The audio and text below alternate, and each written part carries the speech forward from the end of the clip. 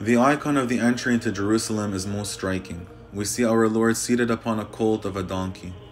The donkey's head is bowed low, and a child is feeding the donkey. To the right is pictured the walled city of Jerusalem, and at the gate are the assembled elders. One is holding a palm branch, hailing him as the son of David, the Messiah, but another is whispering, one is looking away, yet another is looking towards the palm tree, and the remainder are looking at each other. They seem skeptical observers to the event. Their faces portray the overarching question which is voiced in the Gospel of Matthew Who is this? Is this the Messiah riding on a donkey? Our Lord Himself, in the middle of the scene, has His head inclined towards His disciples who are following Him to the left of the icon.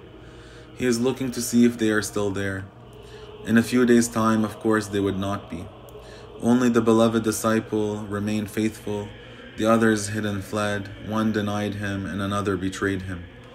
Behind our Lord's head is the Mount of Olives, outside the city where he would be handed over to the authorities.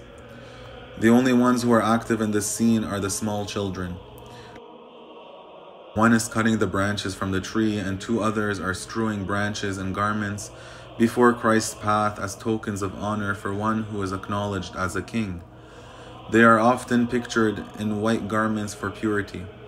In their childlike innocence and enthusiasm, only they are truly engaged in this historic ride into Jerusalem.